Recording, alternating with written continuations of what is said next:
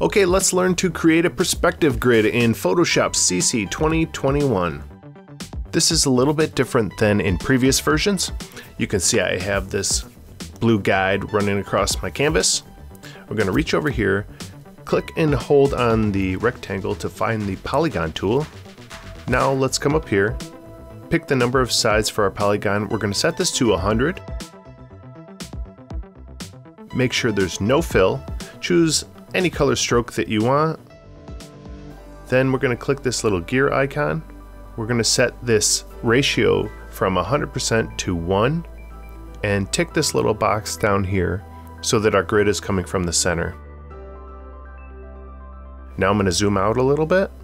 Click anywhere on the horizon line, hold shift and draw both of these grids. This is a two point perspective grid.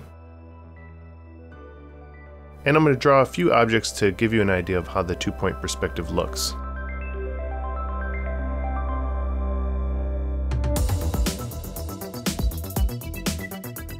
This works pretty much the same way with the one point perspective.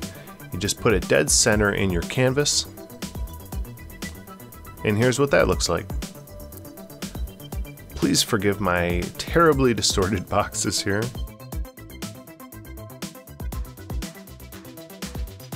And there you go, a quick and easy perspective grid in Photoshop CC 2021. And here's another video that I'm sure you're gonna love since, well, you know, we're such close friends. Have a good day, you guys.